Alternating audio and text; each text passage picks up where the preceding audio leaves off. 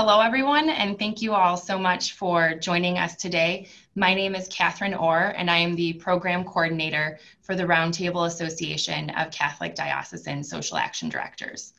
On behalf of the Board of Directors, I would like to formally welcome all of you and thank you for joining us today for the first of our Fratelli Tutti Dialogue series. Before we get started, I would like to open us up using Pope Francis's prayer found in Fratelli Tutti. So we could take a moment to quiet our hearts and mind and recognize that we are always in the presence of an ever loving and merciful God.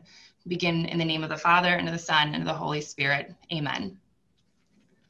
Lord, Father of our human family, you created all human beings equal in dignity.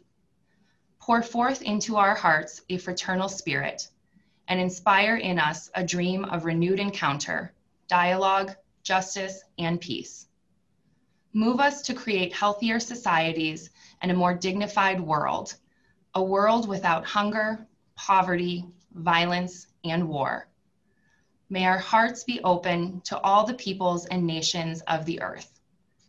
May we recognize the goodness and beauty that you have sown in each of us, and thus forge bonds of unity, common projects, and shared dreams. And we ask all of this in your holy name. Amen.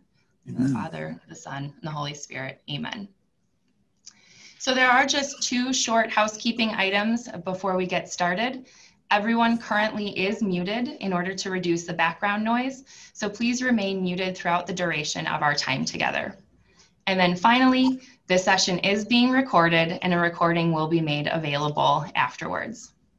So at this point in time, I would like to turn it over to my colleague and fellow Roundtable board member, Joshua Van Cleef, who serves as the coordinator for the Peace and Justice Office in the Diocese of Lexington. Thank you, Catherine. It is my sincere pleasure to introduce our distinguished speakers today, Bishop John Stowe, OFM Conventual of the Diocese of Lexington, and Cardinal Wilton Gregory of the Archdiocese of Washington. Bishop John Stowe was ordained as the third bishop of the Roman Catholic Diocese of Lexington on May 5th, 2015. He was born on April 15th, 1966, in Amherst, Ohio.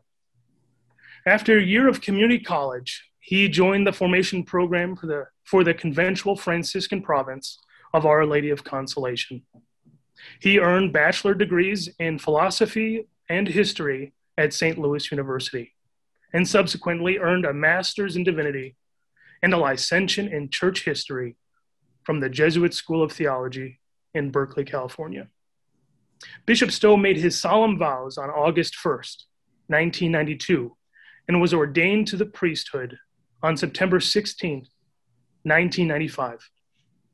He served in Texas as a pastor, moderator of the Curia, and eventually as chancellor for the Diocese of El Paso. In 2010, he was elected vicar provincial of the province of Our Lady of Consolation and became pastor and rector of the Basilica and National Shrine of Our Lady of Consolation in Carey, Ohio. On March 12, 2015, Pope Francis named him the third bishop of Lexington. He's currently the Episcopal Episcopal Advisor for the Catholic Committee of Appalachia and the Bishop President of Pax Christi USA. Thank you for being here with us today, Bishop Stowe. Good to be with you. His Eminence, Cardinal Wilton Gregory, was born on December 7th, 1947, in Chicago. He attended Quigley Preparatory Seminary and St. Mary of the Lake Seminary. Cardinal Gregory was ordained a priest in the Archdiocese of Chicago in 1973 and later earned a doctorate in sacred liturgy from the Pontifical Liturgical Institute in Rome. He was ordained an auxiliary bishop of Chicago on December 13th, 1983, under Cardinal Joseph Bernardin. And in 1994, he was installed as bishop of the Diocese of Belleville, Illinois. Cardinal Gregory has served in many leading roles in the U.S. Church. From 2001 to 2004, he was president of the U.S. Conference of Catholic Bishops. And under his leadership, the bishops implemented the Charter for the Protection of Children and Young People.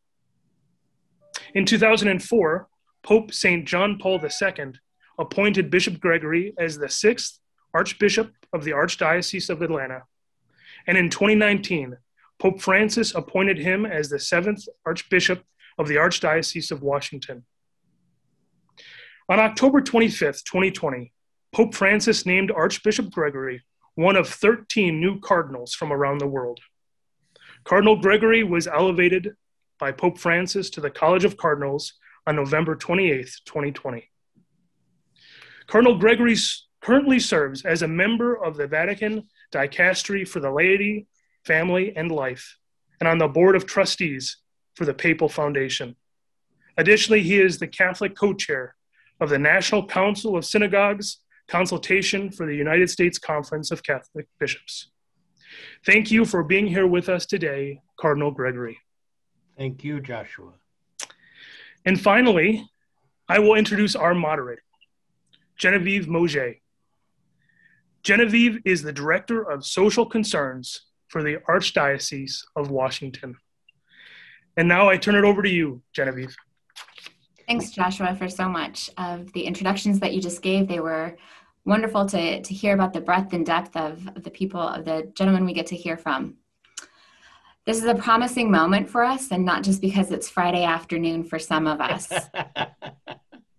I have the pleasure of moving our conversation into the next point in this afternoon. But just real quick for clarification purposes, the outline for the next about 45 minutes that we have is we're going to hear first each from Bishop Stowe and then Cardinal Gregory. They're going to be sharing their own reflections and thoughts on the latest encyclical, Fratelli Tutti, on, frat- on fraternity and social friendship from Pope Francis. Both Bishop Stowe and Cardinal Gregory are going to share thoughts on the importance of dialogue, noting how and why this is important in our church, our communities, and our nation. After they have each shared their thoughts, we're going to move to a question and answer section for our time. So without further delay, Bishop Stowe. Thank you very much. Good to be with all of you. Uh, Cardinal Gregory, this is the first time I see you face to face since that consistory in November. So I heartily congratulate you and know how wonderful you will represent the American Church. And I can just tell you, as you already know, how thrilled our parishioners at St. Peter Claver, our African American community are, and how proud they are of you. So it's a real honor to be with you this afternoon. Um, I also want to thank all the social action directors under the various titles that you are called in respective dioceses. You're an impressive group of people who serve the church in probably a, a very underappreciated way. You have to deal with some of the co complicated and controversial issues of the day and present our church and its teachings, its faithful tradition for 2,000 years of siding with the poor, of promoting the common good. And sometimes our own church members are not that anxious to hear it. So thank you for what you do. I know the caliber of people like uh, Marie Kenyon in St. Louis or Marco Raposo in El Paso and our own Joshua that you met moments ago. So I just know there are many more that I don't know out there, and I'm really honored to be with you at this forum today. And I'm very happy to talk about Fratelli Tutti, Pope Francis's most recent encyclical that seems like it was delivered just on time for those of us in the church in the United States.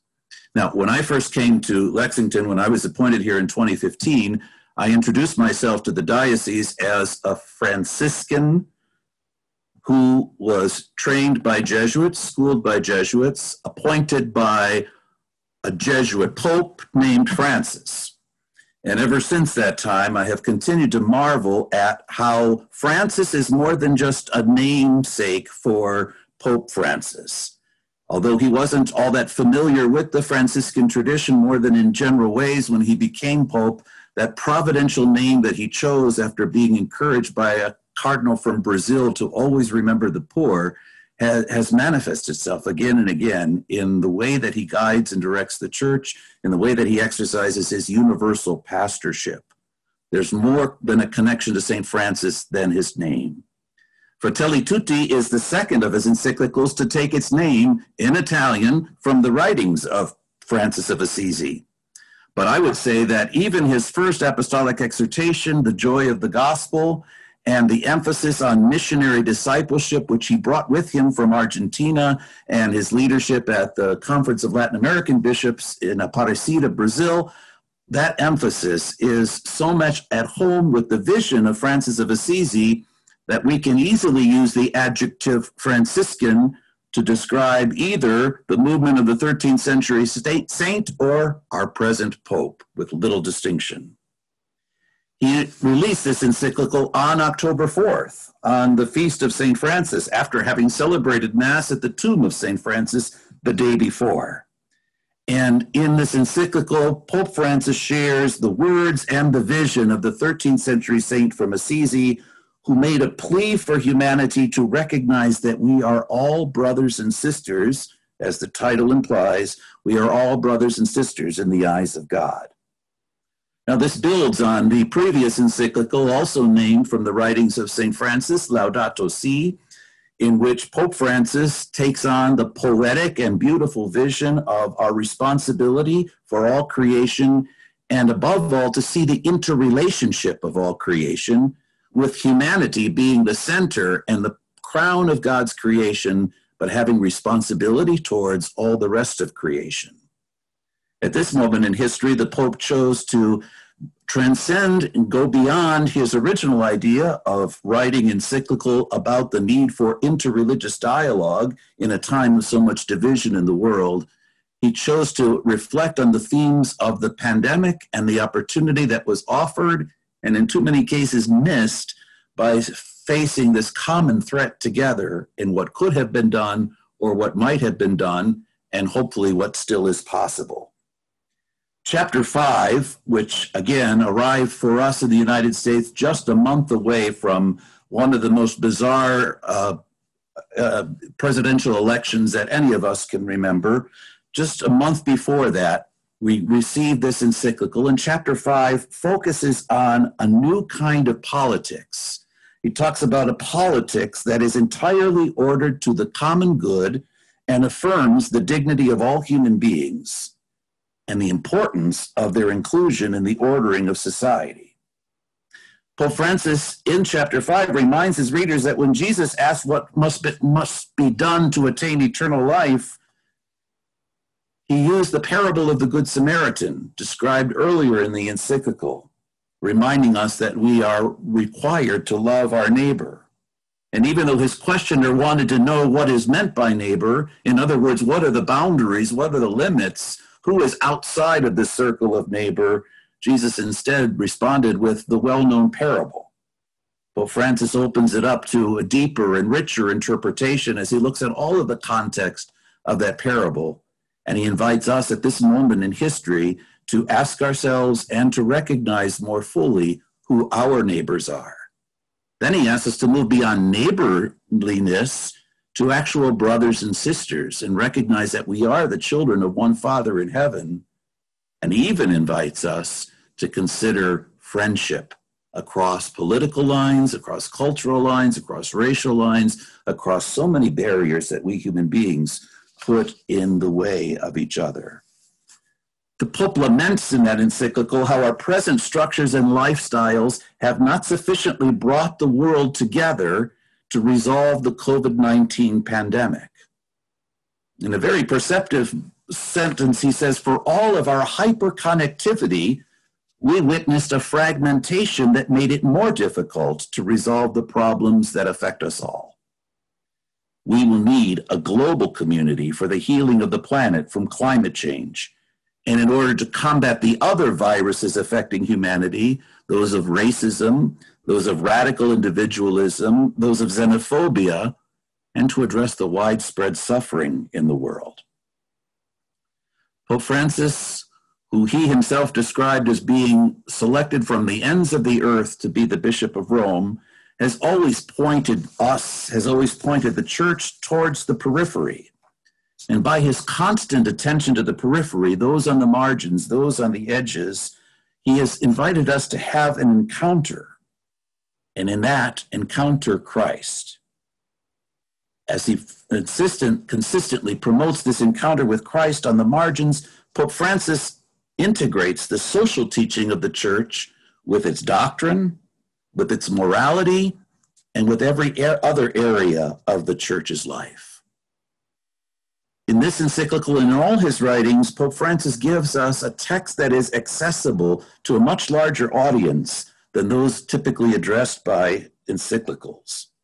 And Francis has the gift and ability to move rather coherently from a description of the world struggling with a global pandemic without the structures to, glo- to unify a global response, to an exegesis of the parable of the Good Shepherd, to a vision for creating a more open and unified world, to an invitation to open hearts and minds to the whole world.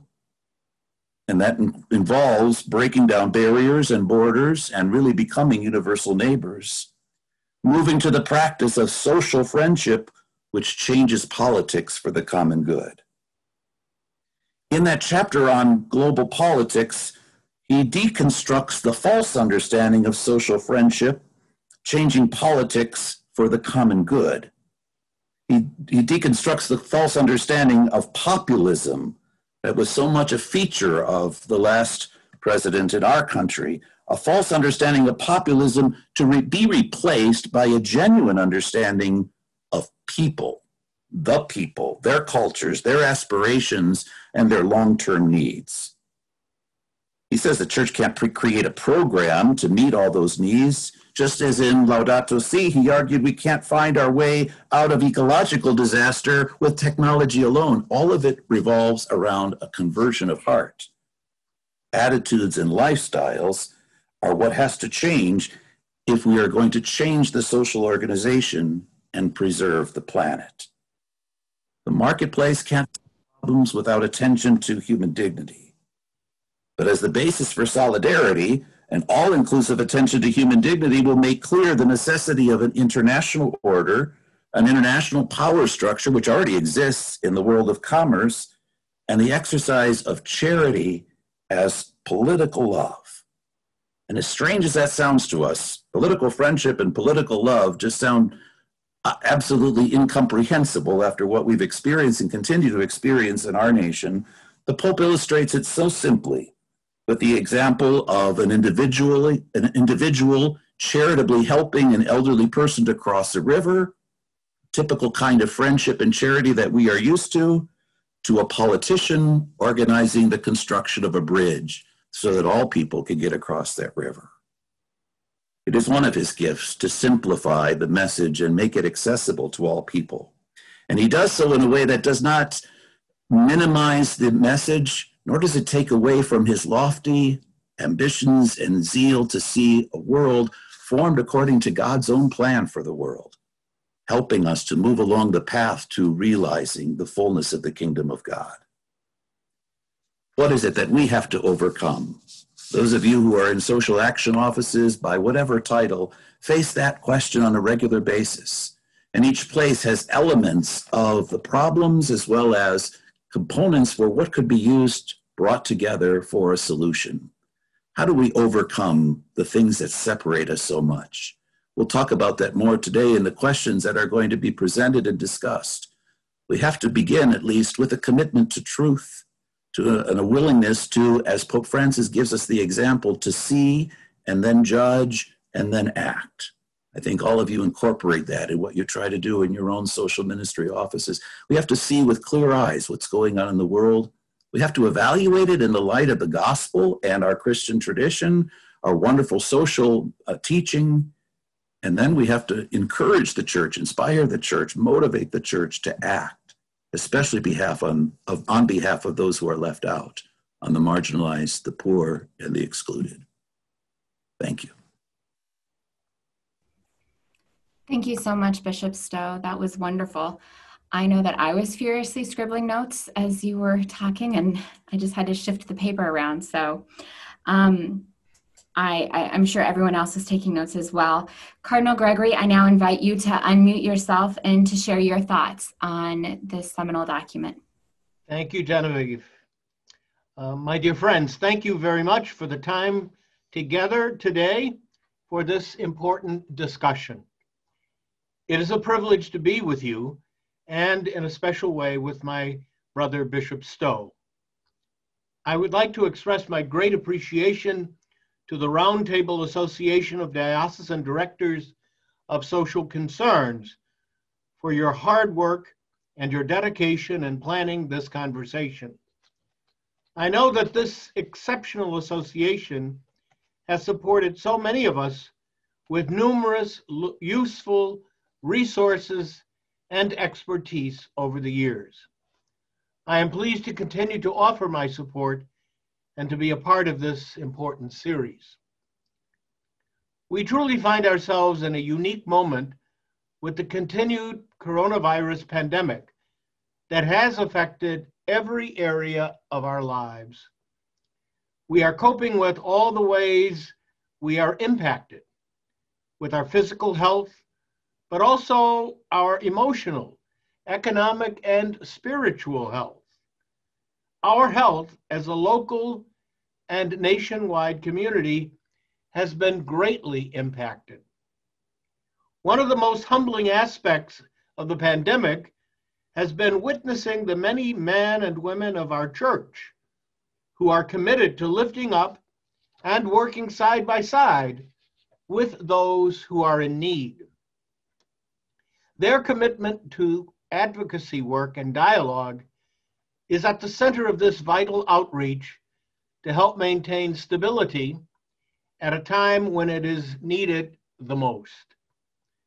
The church's social teaching has been on full display in a most powerful way as a tremendous, tangible blessing for so many who do not know, who do not have, know how they were going to survive. It is through consistent dialogue that we will continue to reach out and readily respond as needed. In the midst of this pandemic, in the midst of a racial justice reckoning in the United States of America, and in the midst of a highly polarized election cycle, the Holy Father has encouraged us with the release of Fratelli Tutti to guide us in the importance of dialogue and relationship or fraternity with one another. Dialogue and relationship, what Pope Francis calls social friendships or fraternity are distinct but related theological realities. When starting a new friendship with anyone, our first step is some type of verbal or nonverbal exchange, an initial greeting that begins it all. Dialogue is not a one and done conversation. It is a process a process of discernment, accompaniment, listening, and exchange. In our world today, I believe this is one of the most common misunderstandings. There is no agreed upon understanding of what is productive and successful dialogue. Dialogue is not defined as everyone expressing the same opinion on an issue. In fact, to not have agreement is perfectly human and is to be expected.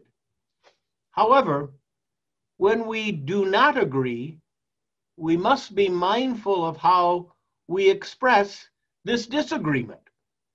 Always cautious and careful to not engage in dehumanizing language that creates barriers to reconciliation and reconciliation. We must use our judgment, prudential judgment, in reviewing our sources. Using the Catechism of the Catholic Church to help define these terms, we are encouraged to discern our true good in every circumstance and to choose the right means of achieving it. Dialogue requires we listen as much, if not more than, we speak.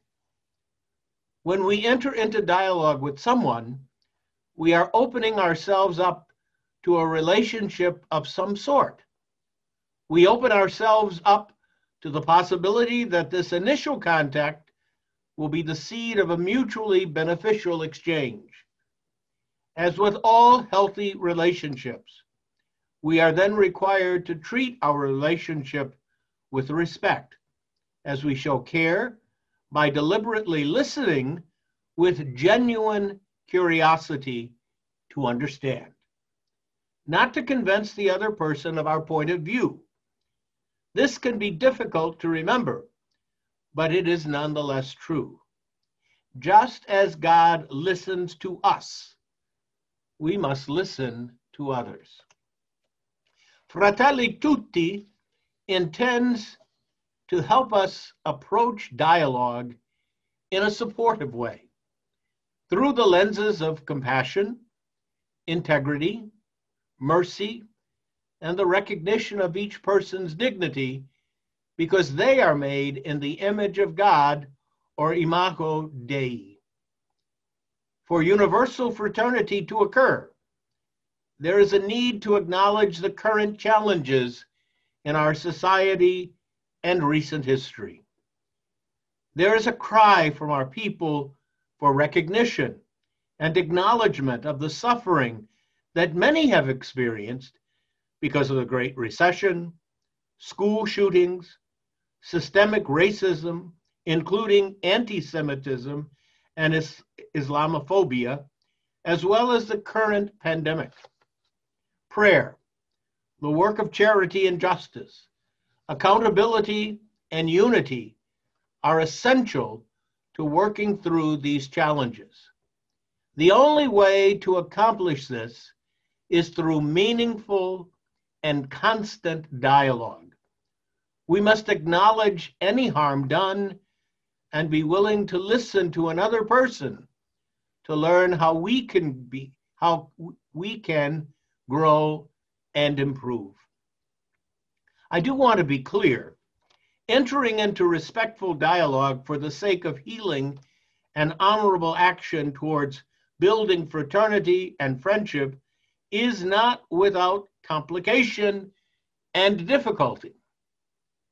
What does this look like in our daily lives? The Holy Father reminds us that dialogue calls for perseverance and patience. And he notes that there are moments of silence and suffering.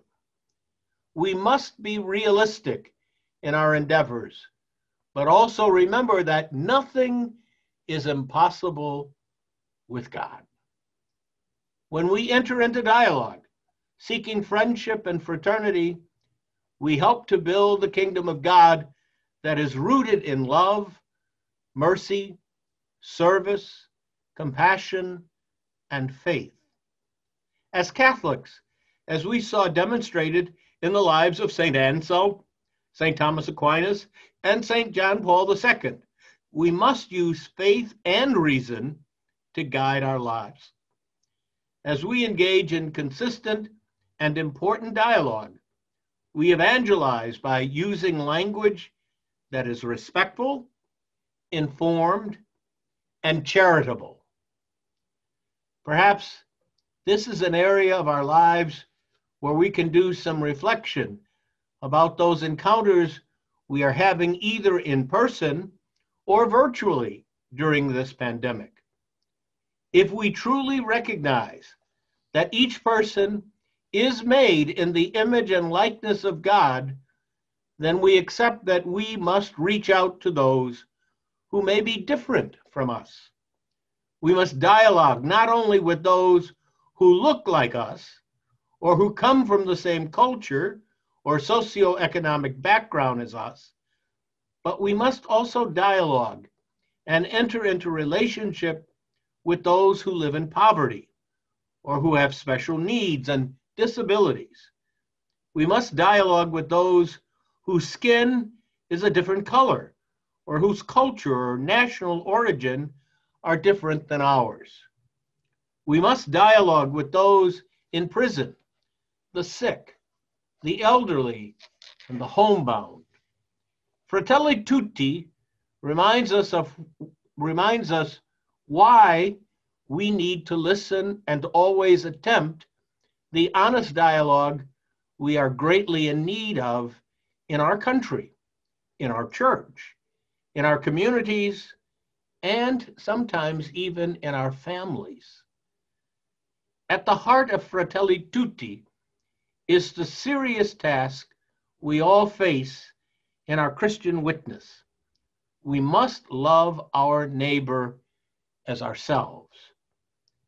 Let us recommit ourselves to having meaningful dialogue each day with our neighbors in every encounter. We have to bring about the common good intended for all of us.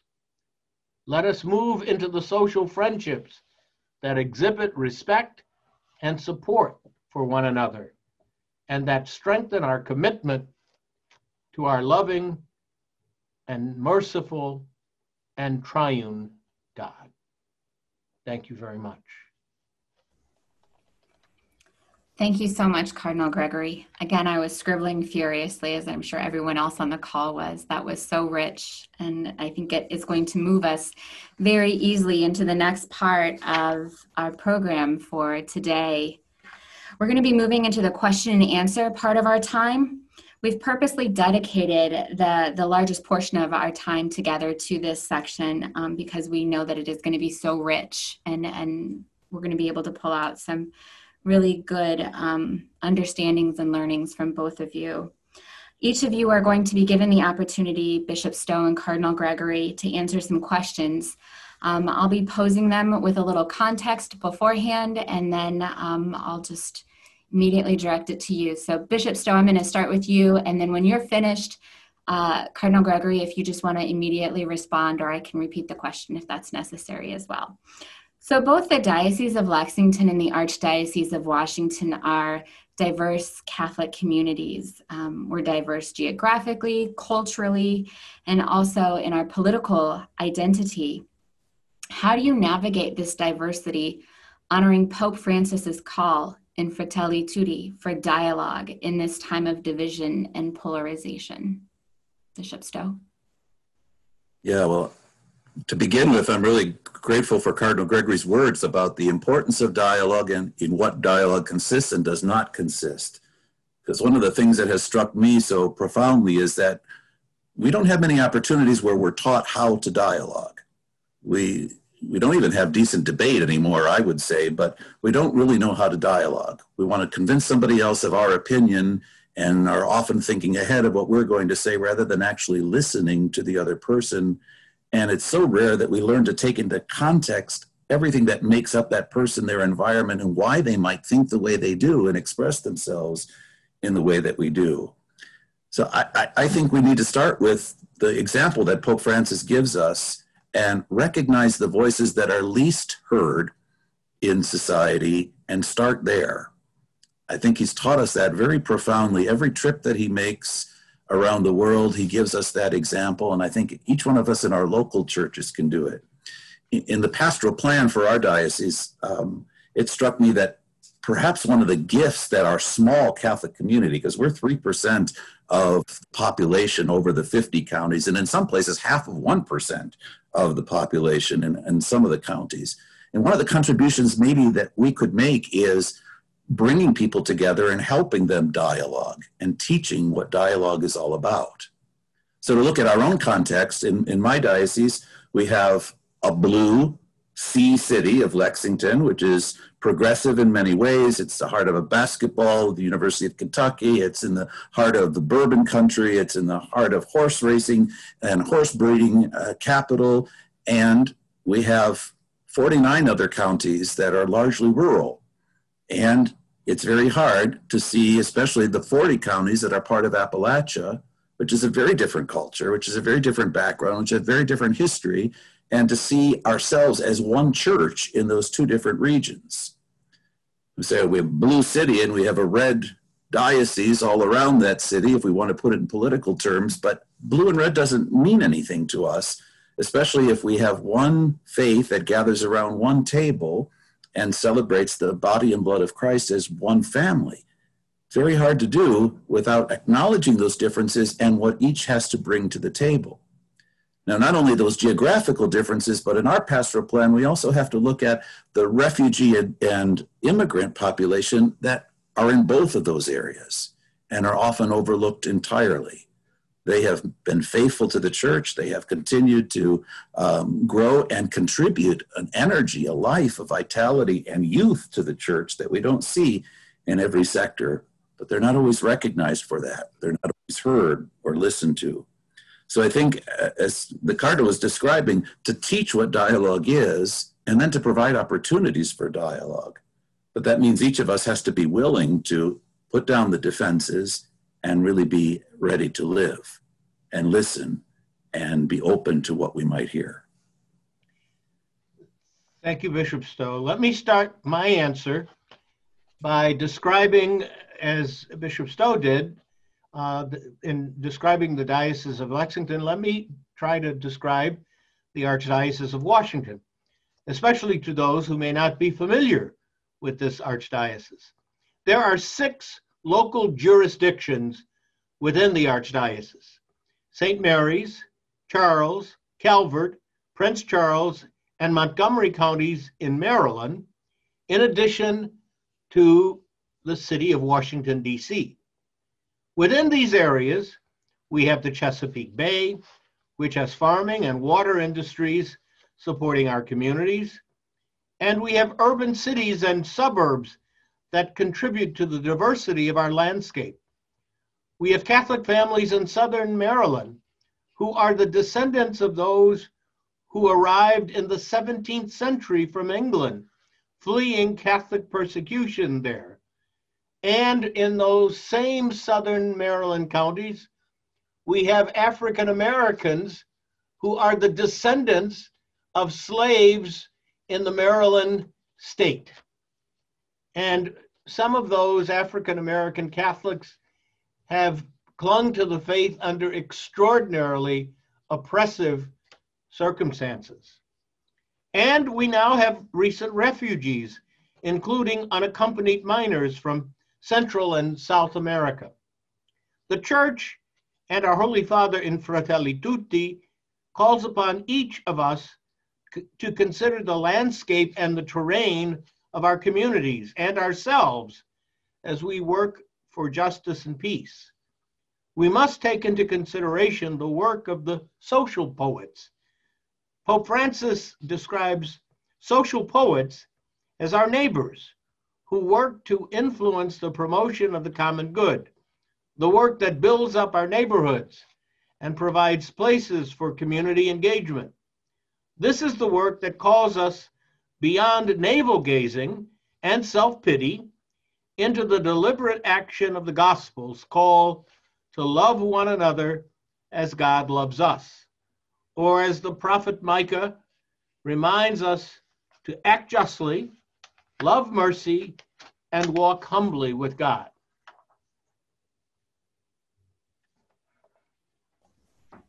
Thank you. Again, I was taking all kinds of notes. This is problematic for moderators all over, and I am in solidarity now. Uh, our second question is uh, Pope Francis writes in Fratelli Tutti True wisdom demands an encounter with reality. We are in a pivotal time where people are inundated with a variety of media sources and reports. People have multiple sources to consult about what justice looks like, what it means, and how we see see it being lived out in our world, our country, and in our communities. So the question is in the pursuit of justice and peace in the United States today, what realities or truths much, must the church consider? And I'm going to switch it up and I'm going to ask Cardinal Gregory to, to start this question. Okay. Thank you, Genevieve. Uh, to achieve justice and peace, uh, Pope Francis calls us to do what is good for the whole human family. By working for the common good, we advance together towards an authentic and integral growth of all people. He calls us to solidarity by thinking and acting in terms of community. Solidarity means giving the lives of everyone priority. Solidarity and justice means combating the structural causes of poverty and inequality, redeeming the lack of work, health care, and housing, and rework and working to end the denial of social and labor rights to people. May I uh, also add, Fratelli Tutti is the mirror encyclical to Laudato Si. He talks in Laudato Si, he talks about the, the world, the, the globe, the, our common home. And in Fratelli Tutti, he says, now who lives in that home? And how do we, how do we access uh, ways to, uh, to invite the, the residents of that home to live peaceably, honorably, and mercifully with one another.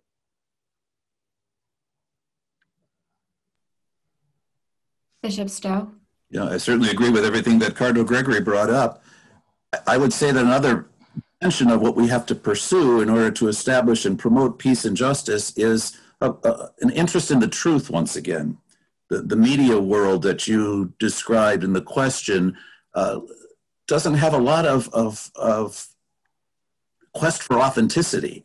And so, what sells papers, what creates headlines, what generates controversy uh, gets so much attention, but who is in the pursuit of truth?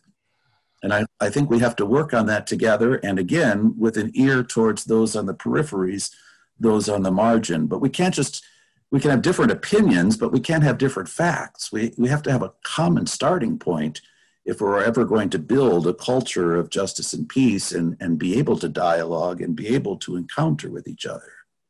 What we have to overcome is not only the, the environmental issues that we face, but the disproportionate uh, suffering from those environmental issues that are faced by people of color, the disproportionate uh, suffering that comes from environmental disasters that are that is um, that the poor suffer from more than than other people what it means to, to close that divide and recognize our common humanity it has got to be based in the truth that, that Jesus Christ proclaims to us. So we need a lot of, of, of teaching about how to get beyond the rhetoric, how to get beyond the polarization, and discover the humanity of each person. Thank you. Our, our third question um, is framed uh, this way Racism is a grave threat in our nation. The USCCB's document, Open Wide Our Hearts, names racism as a sinful act that violates justice and rejects the dignity of all people. So, my question to both of you is How does Fratelli Tutti speak to the Catholic approach in fighting racism? Cardinal Gregory? Uh, Pope Francis refers to racism as a virus that quickly mutates and instead of disappearing, goes into hiding and lurks in waiting. Right now, our country is living through COVID 19, and much like the coronavirus, racism is a virus that is insidious and pervasive. We look to our church for guidance and encouragement. God's love compels us forward to defeat racism we have many great prophetic prophets leading us by their example. Leaders such as the Reverend Dr. Martin Luther King Jr.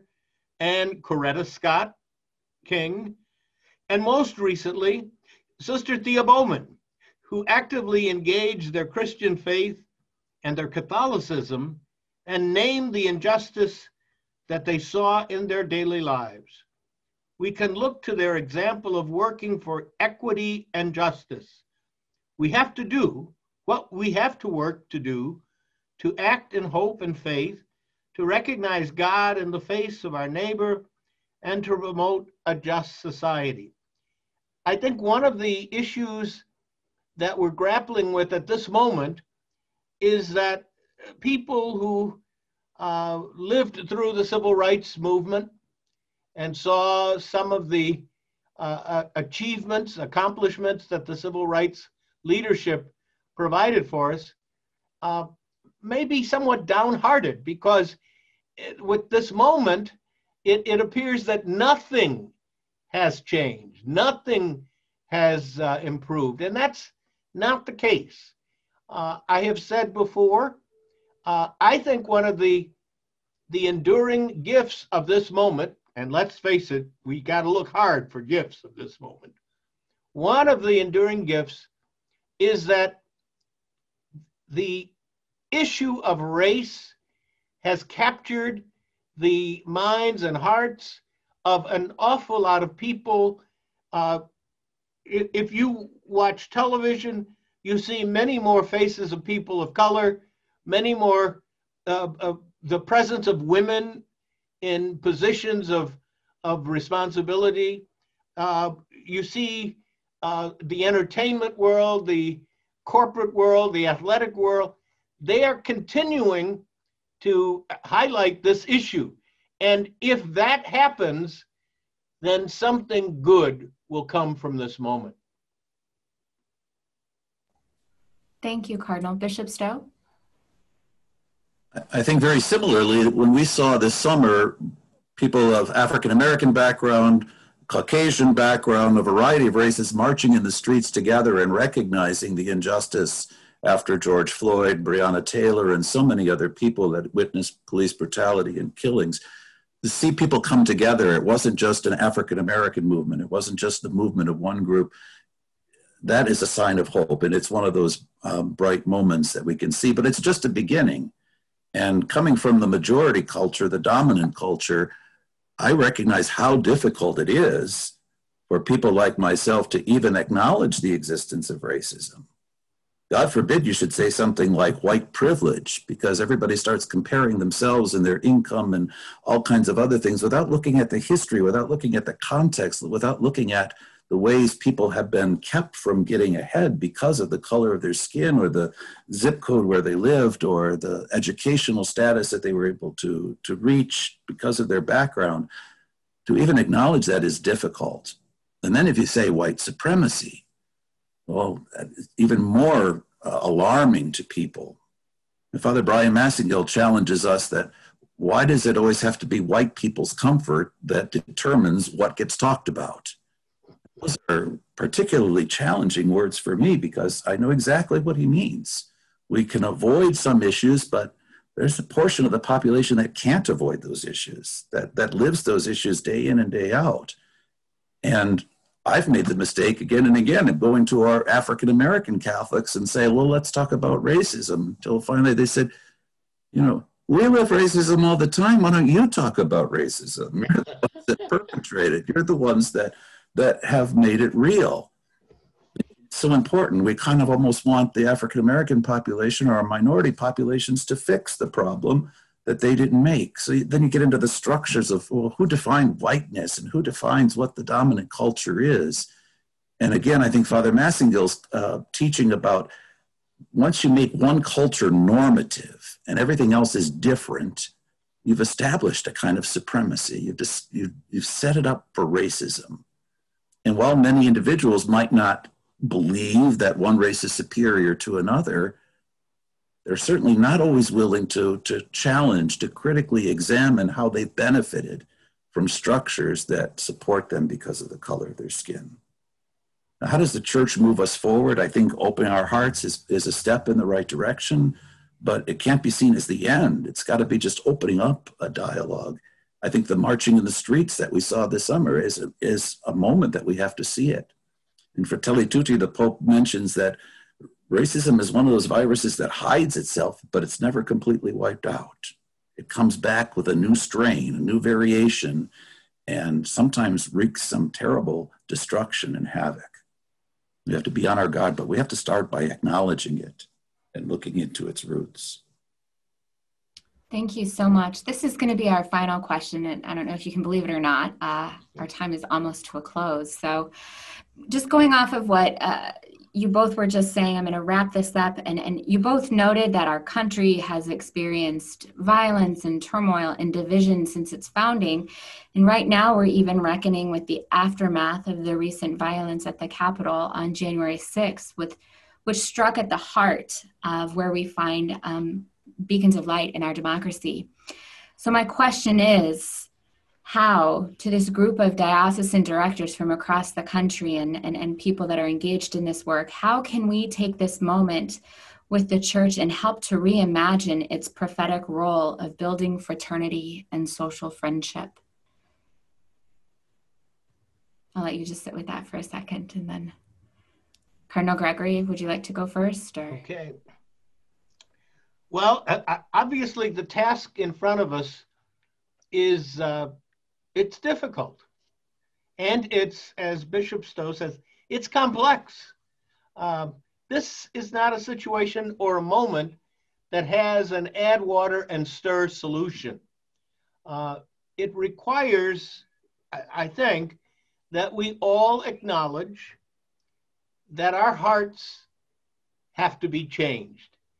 This is not a moment when um, we can be satisfied with external uh, projects, as important as they are, uh, and say if we do this, then the issue uh, is under control. I've written, I've spoken, and I've used this example before. We've seen a rash of uh, dismantling of uh, statues and, and monuments that obviously are representative of uh, a racist history, individuals who whose behavior uh, actually uh, established and and and, and justified uh, and and institutionalized racism. And so we have statues being removed and monuments being defaced. And that's, that may be very important in, in, in, in society. But if we don't change hearts, all we've done is to dismantle a granite statue and the, the virus of racism simply lingers and endures in the human heart. So this is a moment of metanoia. Uh, and, and all of us are engaged in this. Uh, this is not something that the African American community can sit back and say, well, let, let the white community change hearts. We have to change our hearts too. Uh, obviously, we come to the issue from different perspectives. But if we're going to treat each other as, as brothers, as fratelli, each brother has to say, and sister has to say, how does my heart need to be changed as well? Bishop Stowe. That, that conversion and change of hearts, Pope Francis teaches us, comes from an encounter. It comes from really facing another person and hearing the other person and entering into their world. And the more that the church can provide opportunities for that, the better off we can be. I, I can think of a, a parish in our diocese that had great success in minimizing some of the ugly rhetoric around immigration a couple years ago, just by inviting people to sit down at a table with an immigrant family and having a bilingual member of the community be there to, as a kind of a buffer and just hear the story, hear the circumstances that these people grew up in. What is it that they were fleeing in their home country? And it was a whole lot more difficult for people to be so anti immigrant after they knew these people and broke bread with them. And I think that is what the church has to contribute if we, but it takes work, it takes energy, it takes creativity and a desire to make that, that those inroads. I would also say that with all the means of communication that the church operates, and so many of us bishops have all kinds of social media things, and dioceses have all this kind of communication. Then we have a private uh, media conglomerates in, in, the church that have the name Catholic associated to them. If we don't demonstrate or model some kind of civility, we're not going to be uh, helping the situation. And we have too many of our so called Catholic media sources lining people up for a fight rather than inviting to an encounter. Now, Pope Francis has also said you can't have an encounter through a handheld device that has an on and off button. You really have to be face to face. And that's a little harder during the pandemic, but look at us. We're finding a way to do it right now, and we can continue to foster those opportunities. Thank you so much, Bishop Stowe and Cardinal Gregory. This was so rich and, and so filling for me personally in my role, and, and I, I'm sure I could echo that sentiment for my colleagues across the country that are here and that were able to listen to your words. It was really heartening. So thank you. I'm going to turn it over to Catherine, who's going to give some final instructions and updates. Um, but thank you again. This was beautiful. Well, I think, like Genevieve articulated, I think I can speak on behalf of everyone here. Uh, first and foremost, to really thank you, Cardinal Gregory, and thank you, Bishop Stowe, uh, for sharing your wisdom and your insight uh, with all of us. Um, I know that you, can, you both uh, continue to be a source of inspiration for many of us uh, in the work of social ministry, whether we're in a parish or a diocese or another Catholic organization or an ecumenical organization trying to build up God's kingdom of justice, love, and peace, uh, which can be difficult uh, nowadays, but uh, leaders like you get, continue to be a, a, great source of inspiration for us. So thank you both very much. I would also like to thank uh, Genevieve Mougey and Joshua Van Cleef, our fellow colleagues and roundtable members who truly were instru instrumental in developing this event, which is part of the larger Roundtable Fratelli Tutti dialogue series. So more information will be coming uh, shortly on speakers and future dates. So please stay tuned for all of that information because uh, like both uh, Bishop Stowe and Cardinal Gregory said, this really is, you can't have just a, a one-off in terms of dialogue. We really need to continue uh, to find time and create a space where we can share and, and grapple with how to apply the social teachings of our church to our, our particular context. I'd also like to thank the Roundtable Board for their continued efforts uh, to support diocesan and parish social ministers around the country and finally, I would like to really thank all of our participants for joining us today. Uh, this again was a treat, and I know I was delighted uh, to have everyone join and see some familiar faces and familiar names today.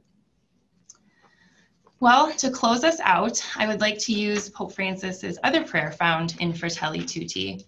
And if we just want to collect ourselves and think of all of the wonderful people in our lives who have continued to be a source of inspiration uh, on our journey.